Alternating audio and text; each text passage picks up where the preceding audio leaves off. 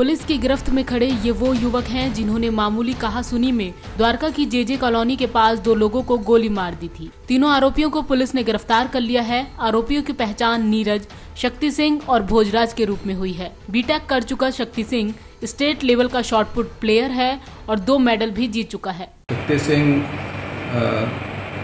पानीपत के पास एक गाँव का रहने वाला है और दिल्ली में अभी ये शॉटपट जो होता है, गोला फेंकने वाला, वो स्पोर्ट्स का इवेंट है। उसमें ये दिल्ली स्टेट लेवल पे सिल्वर मेडल जीता है और नेशनल्स की तैयारी कर रहा था। और किसी छोटे से बात पे इसे गुस्सा आ गया और इसने जाके शमीम को गोली मार दी और निकलते समय एक आदमी फ़ोन कर रहा था, सौ नंबर पे पुलिस को तो उस पर भी गोली चलाई, उसके पैर में लगा था। दोनों आउट ऑफ़ डेंजर हैं। और इसके साथ जो लड़का नीरज था, उसे भी अरेस्ट फ़िलहाल फायरिंग में घायल हुए दोनों युवक खतरे से बाहर हैं। वहीं पुलिस ने आरोपियों के पास से वो गन भी बरामद कर ली है, जिससे फायरिंग की गई थी और आरोपियों के खिलाफ कार्रवाई की जा रही है।